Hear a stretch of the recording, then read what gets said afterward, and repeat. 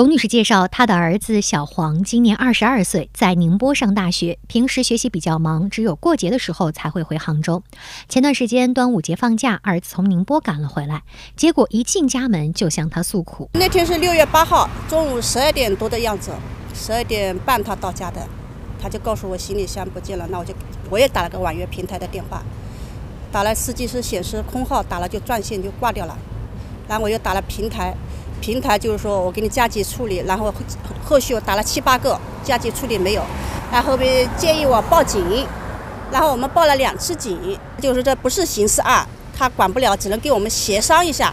他也就是随后呢给平台打了个电话，平台还是这么说的，他就说在找司机，联系不上司机，就这样不了了之。董女士说，儿子回家一般自己会到地铁站去接，那天临时有点事儿就没去。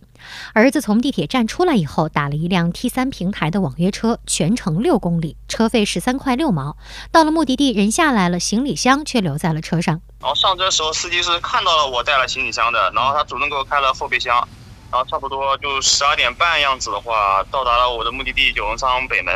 然后我下车，下车之后准备等司机那个开后备箱嘛。然后但是下车之后，司机司机在我下车之后直接就把车开走了。呃，蓝蓝色的行李箱，尺寸的话大概大概六七十厘米吧。然后是里面就是一件衣服和一些常规的穿着东西。小黄告诉记者，箱子没有找回来，他新买了衣服和日用品，回学校的时候拎了几个袋子，有点不方便。董女士说：“他们联系不上司机，就让儿子给了对方一个差评。她想着司机看到差评应该会主动联系儿子，结果还是没有收到回复。”董女士表示：“东西不贵重，但事情很困扰。”价值我给他毛估估，他是说没说？因为生活用品新基本上我就知道，就是几套衣服，还有一个床单，还就是他的男孩子自自身的这个生活用品，一个行李箱大概六七百块钱的样子，钱不多，但是重点 T 三平台不作为。你这个事情本身司机是你平台下打的，你为什么不能去找到他？董女士说自己联系不上司机也就算了，平台作为监管方怎么也联系不上司机呢？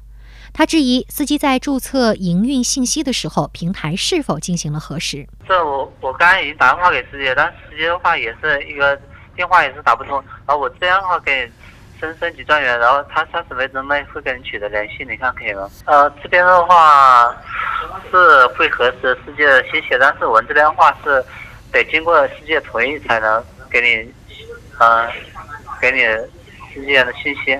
呃，我们不需要他的信。师傅的信息，现在问题就是你们联系不上师傅这个事情。啊，你听那个音乐声，请不要挂断，我这边话会有领导跟你。申申请领导跟你进行一个通话。这边的话，因为我们的不管是一线的员、一线的客服以及二线的物品遗失专员，目前的话都没有联系上司机，已经协调到现场城市管理的资管，资管目前也是没有回复的。嗯，这边的话是三十分钟内联系乘客，二十四小时我们会有相关的一个对接部门对接您的。晚些时候，T 三出行公关部进行了文字回复。司机师傅反馈，他在平台上注册号码设置了拦截模式，导致此前没能接到相关电话。平台客服已把司机的最新联系方式给了乘客，由双方协商行李箱送回的时间和地点。